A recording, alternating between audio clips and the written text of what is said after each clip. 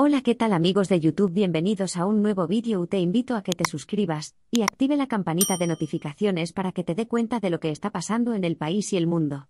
Residentes en el barrio El Cacao, del municipio de Las Terrenas en la provincia de Samaná, República Dominicana, presenciaron el día de hoy un acontecimiento realmente desgarrador, tras difundirse la noticia de que una mujer se había quitado la vida en circunstancias muy trágicas. Se trata de Cristina Almonte, quien por motivos ajenos a nuestro conocimiento, optó por colgarse en el interior de una habitación en su residencia. Parientes de esta fémina están atónitos tras lo sucedido, alegando sentirse desconcertados tras no tener ninguna sospecha aparente del motivo que llevó a esta mujer a terminar con su vida por medio de este trágico desenlace.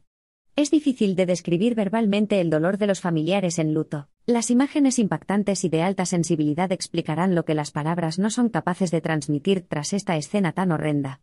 Por otro lado, falleció el pasado sábado en un trágico incidente, un hombre identificado como Elías Polín, un jovencito de apenas 20 años de edad que pertenecía a la empresa Nautilus, y se desempeñaba como buzo para la central termoeléctrica Punta Catalina como información oficial proporcionada por parte de las autoridades que atendieron el caso. Eloy Oxiso se encontraba realizando labores de limpieza de sargazo junto a otro compañero, ambos habían sido sometidos previamente a exhaustivas para sumergirse en el agua.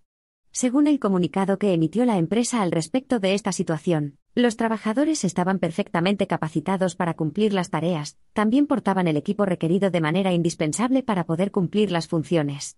Aparentemente, fue una de las turbinas de las generadoras que le costó la vida a este joven.